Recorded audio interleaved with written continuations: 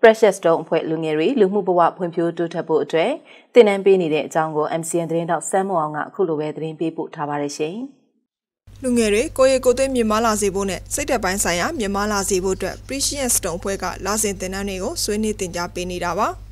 အသက်18နှစ်ကနေ25နှစ်အတွင်းလူငယ်တွေပညာရေးနဲ့လုပ်ငန်းလုပ်ကိုင်ရမှာတိုးတက်လာစေဖို့တည်ထားတဲ့ချက်တွေကိုဝေမျှဆွေးနွေးပေးနေတယ်လို့မြန်မာလူငယ်တွေအနေနဲ့တည်ထားတဲ့လူမှုရေးအချက်တွေကိုလိုက်နာပြီးဘဝဆုံးဖြတ်ချက်တွေမမိုင်းစေဖို့အဓိကဆွေးနွေးတင်ကြားပေးနေတာလည်းဖြစ်ပါတယ်။တကယ်တမ်းကျတော့လူငယ်တွေကိုကိုတန်ဖို့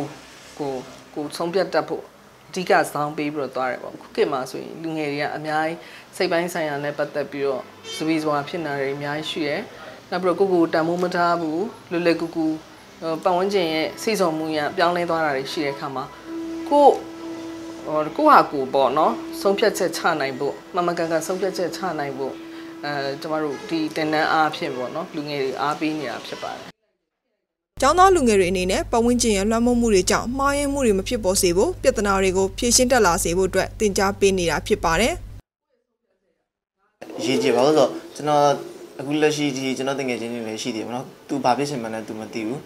အာဘာဘာဝါသနာပါမှလည်းမသိဘူးနော်တငယ်ချင်းတွေကဒါအင်္ဂလိပ်စာသင်တတ်မှဆိုသူတက်တယ်အာအစီစီယာဆိုလည်းတက်တယ်ဒါပေမဲ့ဝါသနာပါလားမပါလားကိုကိုမသိဘူးနော်မသိရတော့သင်တန်းတွေပြီးအောင်လည်းမတက်ဖြစ်အဲ့လိုအချိန်ကြီးဖြုံးတာပဲအများဖြစ်တယ်ပေါ့နော်အာကိုကိုကတကယ်ဘာဖြစ်ရှင်တာလဲသိရင်ကိုဒါဝက်ဒီဇိုင်းမလုပ်ဖို့အဆင်ပြေပေါ့နော်အဲ့တော့ဒီလိုသင်တန်းတွေတက်ချင်အပြည့်ကိုကဘာဝါသနာပါလဲကိုကိုပြန်ဆက်စမြင်ပေါ့နော်အဲ servicing လို့ခေါ်ရဲကိုယ့်ကိုသိမြင်ခြင်းဆိုတဲ့သင်ခန်းစာတွေလည်းရှိရတဲ့အတွက်ကျွန်တော်တို့ကဘာကိုဝါသနာပါနေရလဲကျွန်တော်တို့ကဘာပြောချင်တာလဲဆိုတာအစကိုယ့်ကိုပြန်ပြီးတော့ analyze လုပ်လို့ရတာ